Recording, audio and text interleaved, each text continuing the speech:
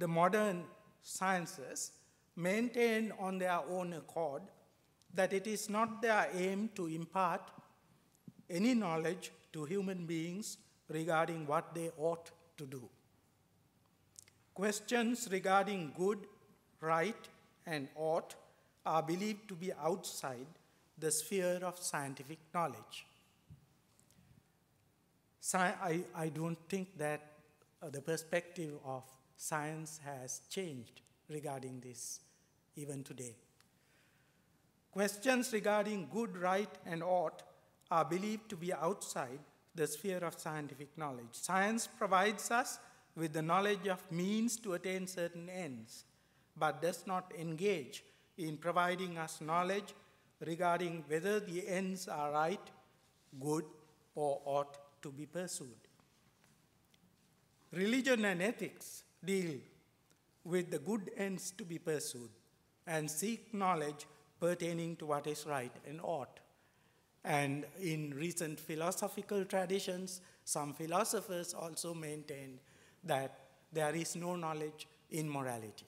Morality is non cognitive, like religion. So, this is where Buddhism differs. Buddhism would say that there is genuine knowledge regarding moral questions. There is a possibility of establishing uh, validly the distinction between what is right and wrong, what is good and bad. And I will uh, speak about the Buddhist uh, way of determining that, uh, provided I have the time within the limits uh, imposed by time.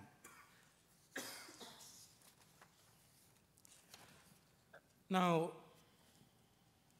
in Buddhism, we have a variety of terms that refer to different modes of cognitive activity.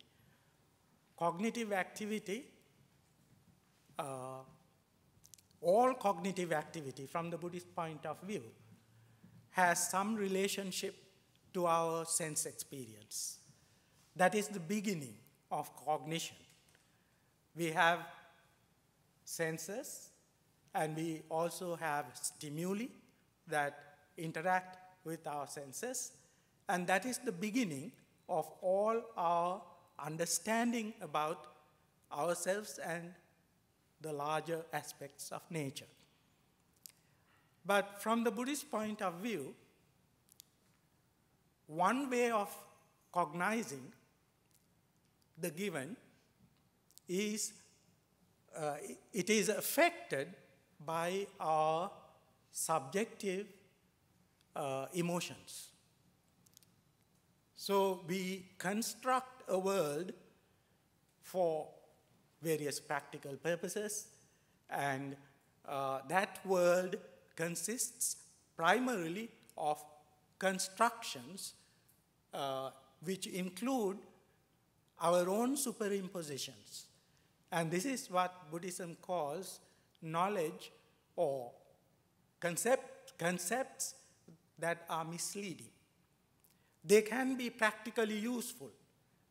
Now, we need concepts like the concept of the table, the concept of the computer, the concept of a man, all that we need. And they are constructions which are practically useful. But they don't uh, promote any kind of spiritual uh, development in us. They do not promote any insightful understanding of the nature of things. Yeah. So, Buddhism would say that for an insightful understanding of the nature of things, it is necessary to uh, adopt a different mode of cognizing things.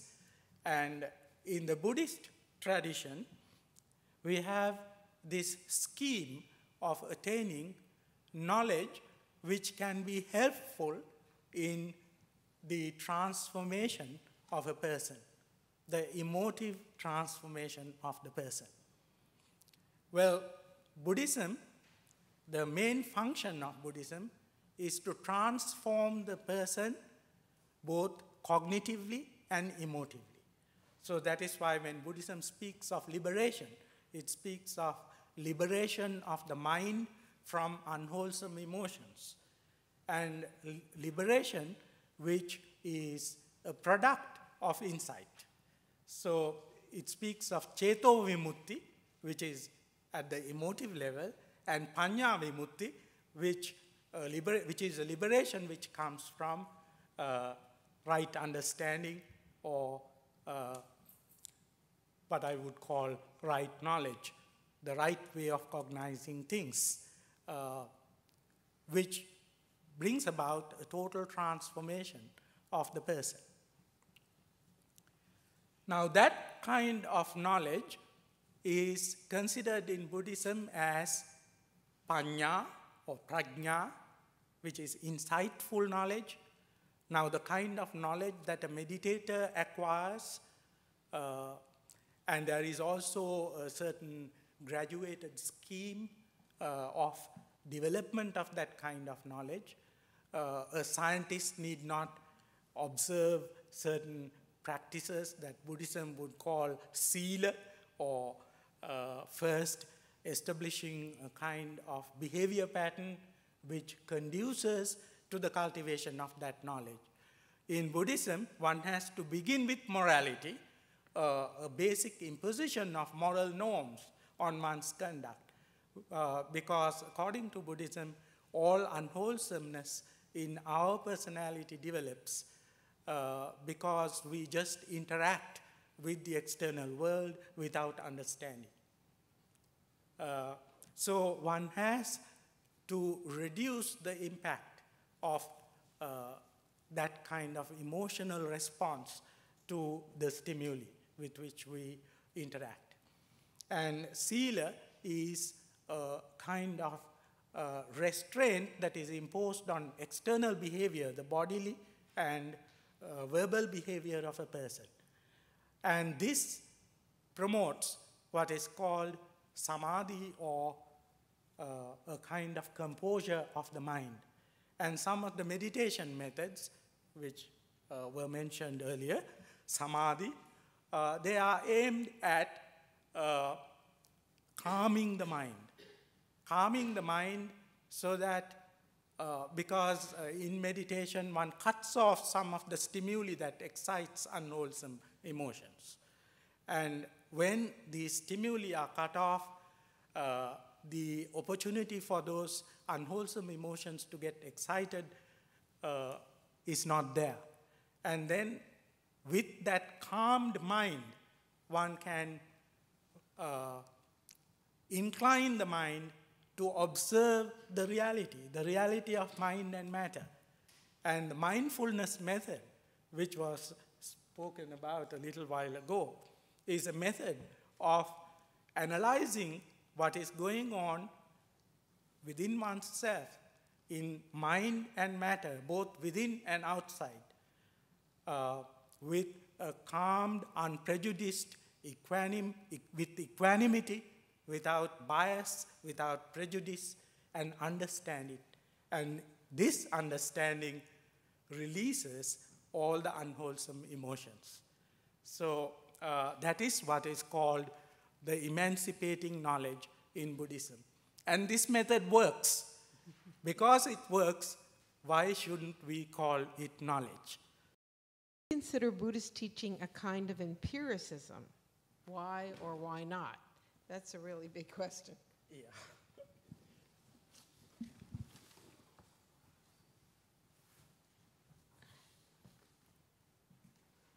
Yeah, I think uh, this is a question that is very often raised, and uh, um, I think at one point uh, in some of the early teachings of Buddhism, we find a statement made by the Buddha uh, regarding what there is. Uh, the question is raised by the Buddha himself. Uh, uh, what is everything? Everything that we can know about. And the Buddha says everything that we can know about is included in the respective sense faculties we have the eye, ear, nose, tongue, the body, and the mind. And the respective stimuli, that is, sounds that we uh, come into contact with through the ear, uh, visual forms that we come into contact with through the eye, uh, smells, tastes, tactile sensations, thoughts. And the Buddha points out that if anyone were to talk about anything other than these, one cannot make sense out of it. So, uh, outside this, if one talks about anything, it's difficult to make any sense. So, in that sense, I would say that Buddhism is empiricist.